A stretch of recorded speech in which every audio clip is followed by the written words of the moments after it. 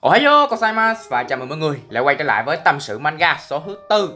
Và ngày hôm nay, trước khi bắt đầu video clip này, chúng ta hãy cùng điểm danh xem là trong tháng 9 này chúng ta sẽ có những đầu truyện nào mới nhé Ở nhà xuất bản Kim Đồng thì vào ngày 30 tháng 9 là cuối tháng 9 này đó Họ sẽ cho xuất bản bộ truyện Nhất Quỷ Nhì Ma thứ ba Takagi. Nếu mà nói đơn giản hơn đó chính là cái bộ anime trò đồ đáng yêu Takagi-san đó các bạn. Đây là một trong những cái bộ anime manga mà tôi thấy nó rất là hay nó có một cái sự đáng yêu gì đó rất là kỳ lạ. Mỗi lần tôi xem mà tôi vẫn à, cảm thấy có một sự đáng yêu vô hình nào đó. Nó à, nó giống như là cái cảm xúc gì tôi khó hiểu lắm các bạn.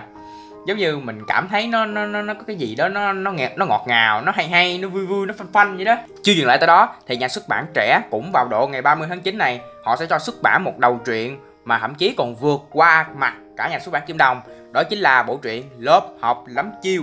Hay chúng ta còn có một cái tên gọi khác, đó chính là lớp học ám sát.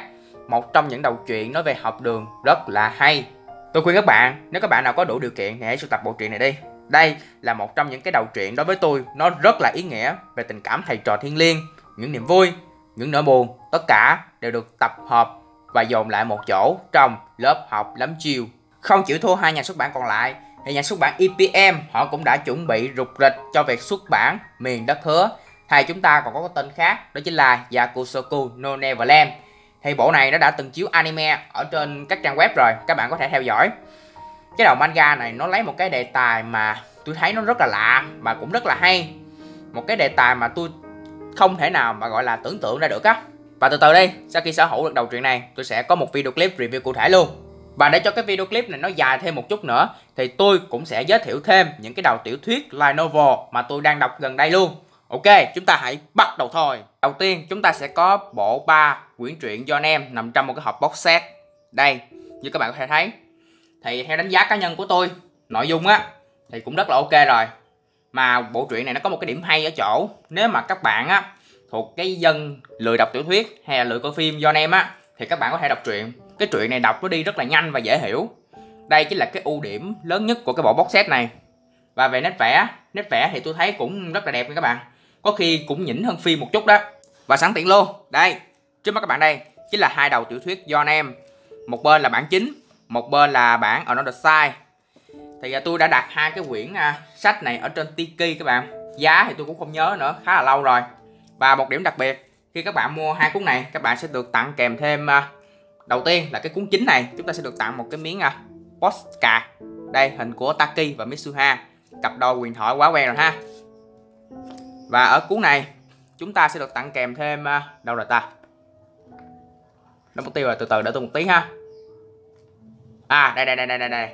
Đây chúng ta sẽ được tặng kèm thêm à, một cái uh, miếng bookmark hình uh, của Mitsuha trông rất là cute và kawaii. Và tôi cũng phải thừa nhận với các bạn luôn là hai cái quyển này tôi chưa có đọc nữa. Tôi chỉ mới có xem phim với đọc ba bộ truyện này thôi.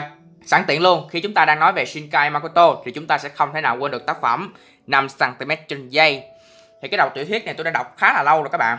Là một trong những cái đầu anime, cũng như là tiểu thuyết đầu tiên tôi đọc của ông bác Shinkai Makoto. Một trong những cái câu chuyện tình rất là buồn giữa hai cặp đôi, Akari và Takaki. Nếu các bạn đã từng đọc xong cuốn tiểu thuyết này rồi, chắc chắn các bạn sẽ biết rằng 5cm trên giây chính là vận tốc của cánh hoa anh đào khi rơi đó các bạn. Rất là hay luôn. Và chắc các bạn thắc mắc tại sao tôi lại lấy cuốn này ra mà không lấy những cái đầu tiểu thuyết khác của Shinkai Makoto. Bởi vì 5cm trên dây đó chính là một trường hợp đối nghịch so với John em đó các bạn. Nếu các bạn để ý kỹ thì à, John em đó chính là khoảng cách về thời gian là 3 năm cụ thể luôn á. Mà hai người này vẫn có thể gặp lại nhau và yêu nhau. Còn 5cm trên dây chỉ là khoảng cách về không gian thôi mà hai người này đã xa cách nhau và không còn nhớ nhung về nhau nữa một câu chuyện tình rất là buồn. Và có một điểm đặc biệt ở chỗ đó chính là những cái đầu anime được chuyển thể từ tác phẩm của Shinkai Makoto. Phải gọi là sao ta? Nó rất là đẹp luôn các bạn. Chất lượng đồ họa và hình ảnh rất là sống động. Các bạn hãy xem thử một lần đi, các bạn sẽ biết. Và còn rất nhiều đầu sách tôi chưa có mua của ông bác Shinkai Makoto này. Thì sau này nếu mà cố gắng nhìn dụm một chút thì tôi sẽ sưu tập đầy đủ những cái đầu tiểu thuyết đó luôn. Và nhắc tới tiểu thuyết thì chúng ta sẽ không thể nào quên được một trong những cái đầu tiểu thuyết mà tôi rất là yêu thích trước mắt các bạn đây số Art Online and Craft. Thì tôi đã từng giới thiệu với các bạn cái đầu tiểu thuyết này hồi à, một cái video clip tâm sự manga rồi. Thì cũng không bao lâu đâu tôi sẽ làm một clip review chi tiết về cái quyển tiểu thuyết này. Cái kỷ niệm đầu tiên mà tôi không thể nào quên được ở số Art Online đó chính là cái hồi tôi xem anime trên kênh Sao TV lúc mà nó chưa chuyển thành đài CTV á. Và tôi thú thật với các bạn luôn cái hồi mà tôi xem cái bộ đó trên cái đài à, Sao TV á là tôi không bao giờ tôi quên được. Cái à, gọi là sao ta? Cái chất của nó những cái sự gì đó nó bất ngờ, những cái sự nôn nao, những cái sự gì đó rạo rực. Lúc đó các bạn coi thế như tôi nhớ không lầm như là cái bộ này nó được trình chiếu vào cuối tuần, cỡ độ thứ sáu hay thứ bảy gì đó. Lúc đó tôi nhớ hoài luôn, tôi coi mà nó có một cái cảm giác gì đó nó lạ lắm các bạn.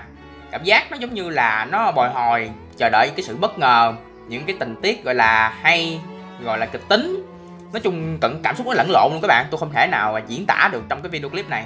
Nó tạo ra cho tôi một cái sự gọi là ấn tượng rất là mạnh mẽ đầu tiên, đó chính là về cái cốt truyện. Thứ hai, đó chính là về những cái nét vẽ và vẻ đẹp của nhân vật. Và đối với tôi á dường như cái bộ soát online này là một trong những cái đầu anime gọi là hay nhất mà tôi từng coi các bạn. Rất là ý nghĩa luôn. Các bạn đã từng có cái cảm xúc nào đó thật kỳ kỳ lạ sau khi xem soát online trên đài sao tv chưa? Các bạn hãy comment dưới video này nhé. Và còn một điểm nữa tôi ấn tượng ở cái bộ soát online Minecraft này, đó chính là cách miêu tả rất là chân thực. Tác giả diễn tả rất là kỹ những cái chi tiết và lẫn nhà xuất bản EPM họ cũng đã chú thích rất là kỹ những cái khái niệm liên quan tới game.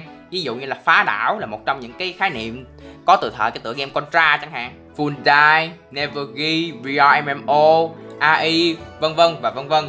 Đó chính là những cái điểm mà tôi ấn tượng nhất ở cái nhà xuất bản EPM này khi họ chú thích rất kỹ những cái khái niệm đó. Và còn một điểm rất là ấn tượng chúng ta không thể nào quên sau khi đọc xong cái đầu xóa online Minecraft episode 1 này đó chính là mối tình của Kirito và Asuna mối tình rất là đẹp các bạn theo một số nguồn tin ở trên mạng thì vào tháng 10 này, bộ anime Sword Art Online Accusation World of the Underworld sẽ được công chiếu trên các trang anime và nghe đồn đâu sẽ có một cái trận đánh ghen dữ dội giữa Asuna và Alice đó các bạn.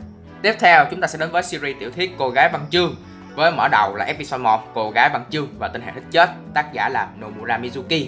Ngày xưa á, thì tôi cũng chưa có biết tới cái đầu sách này đâu. Tôi à, biết được cái đầu sách này là thông qua đọc manga trên mạng thôi. Sau khi đọc xong cái đầu tiểu thuyết này thì tôi rất ấn tượng với cái câu lạc bộ văn học này.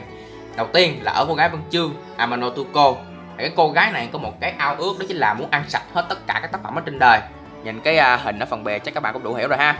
Và nhân vật thứ hai tôi ấn tượng ở bộ truyện này chính là thanh niên nhân vật chính chúng ta Inuko cậu ta từng một thời được mệnh danh là nhà văn nữ thiên tài xinh đẹp đeo mặt nạ bí ẩn và trong quá khứ đã có một biến cố xảy ra với cậu khiến cậu không bao giờ viết tiểu thuyết được nữa và cho tới bây giờ cậu ta vẫn cầm bút viết tại sao vậy bởi vì do cô đàn này đây mọi chuyện cụ thể là sao thì không bao lâu nữa đâu tôi sẽ review cái uh, quyển cô gái văn chương một tên hề thích chết này các bạn cứ yên tâm cảm ơn các bạn đã xem clip xin chào và hẹn gặp lại các bạn trong các video clip về tâm sự manga 完全無欠のボトル野郎ビルド